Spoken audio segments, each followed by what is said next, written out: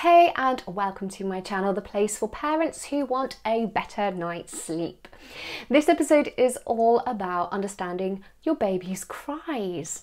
So I'm going to share with you what the different cries are, um, what they mean, what they might look like, so that you can feel equipped and understand how you can best respond to those cries. Stick around.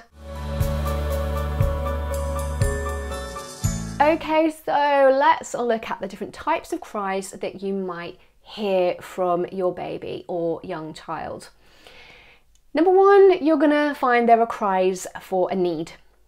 A cry when a need needs to be met. Now, needs are necessities, not wants, okay?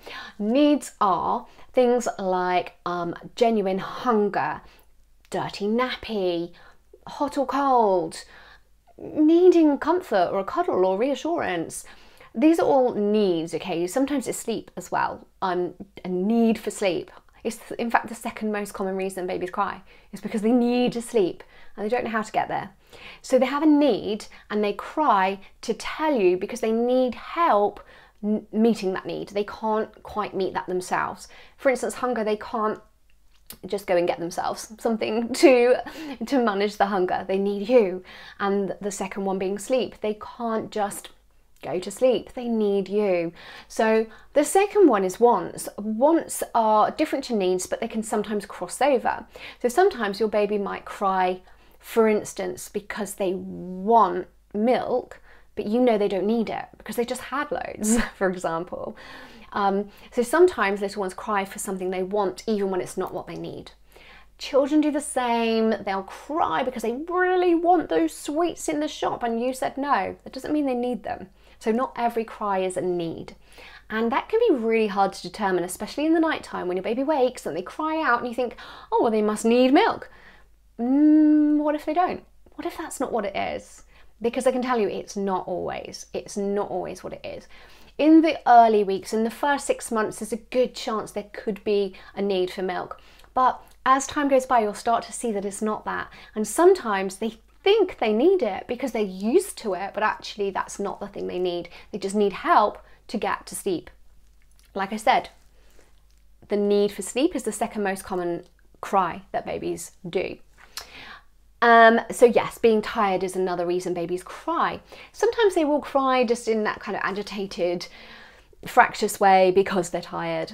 Um, you also get cries for tantrums and anger dissatisfaction, just sheer annoyance, and it could be um, it could be anger or crossness because something was not pleasing to them, like another a toddler was playing with a toy and another toddler came and took it away from them, and they cry because they're angry about that. They're not happy. They're cross. Um, or it could be, and that's a justifiable reason, but it could be less justifiable to uh, the parent where perhaps they're crying um, and it's unreasonable that they should cry for that thing at that time. So we again we can get into meanings and details, but nonetheless to the to the little one, the reality is they are dissatisfied. They are crying out of anger or or having a tantrum. It's dissatisfaction cry. So that's another kind of cry. Um, we also have pain cries, so a type of cry when something genuinely hurts. Um, very common one in young babies is indigestion, digestive discomfort, reflux, the, the kind of the tummy gut pains.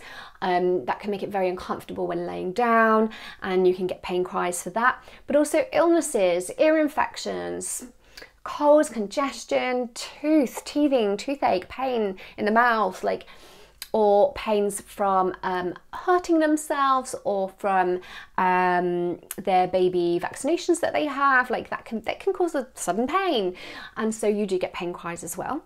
And then another kind of cry you might see could be fear, and in most cases with with babies um, in safe environments the fear is only going to be maybe a sudden noise something that happened or startled them that's different and, and that maybe made them jump or that's scary.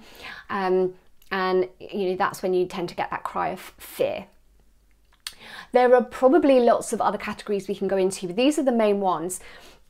And what we want to do is recognize the differences between them and how they show up because they're going to probably need a different response. And when you know what the cry is for, then you can better prepare your response to the cry. Um, so identifying these in your own child is going to be key. And now that we've gone through them, you can start to look and you can start to observe and you can actually get to know them. And that is the power that you have as a parent. You get to know it.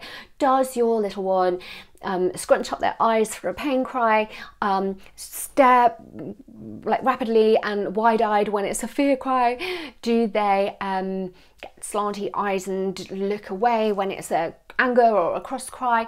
These are common traits and they may be true of your little one as well. So look out for those and also the sound. Pain cries are often high and really piercing um, and that's how you know and you'll, you'll start to spot and as a parent you do get familiar with them and you start to go, oh I know that cry and that's when you know what it's for.